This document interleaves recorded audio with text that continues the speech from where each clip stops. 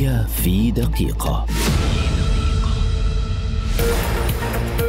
الرئيس أردوغان يؤكد أنه لا رحمة لمن يثبت تورطه في حرائق الغابات وأن البلاد ستتجاوز هذه الأزمة في أقصر وقت وزير الصحة التركي يناشد الجميع بالمسارعة فورا للتسجيل لتلقي اللقاح ضد كورونا مشيرا أن هذه مسؤولية أخلاقية واجتماعية.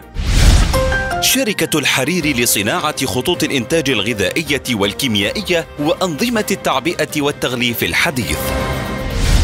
قوات الكوماندوز التركية تسارع إلى نجدة السكان المتضررين من حرائق الغابات التي تشهدها البلاد منذ أيام.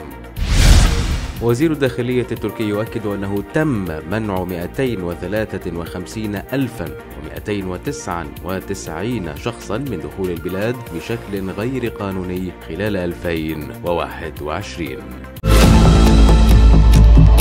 تركيا في دقيقة.